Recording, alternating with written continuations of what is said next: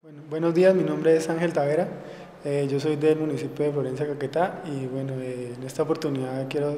compartir con ustedes eh, la experiencia que tuve en, Francia. fue una experiencia de 19 días donde pudimos observar muchas cosas del país galo, de la cultura, la gastronomía, agricultura, la forma de la organización política del país y bueno, conocer la arquitectura y todo lo que lo que respecta al país. Bueno, eh, esto, estuvimos en muchas granjas, visitamos diferentes sistemas productivos de, del campo de Francia,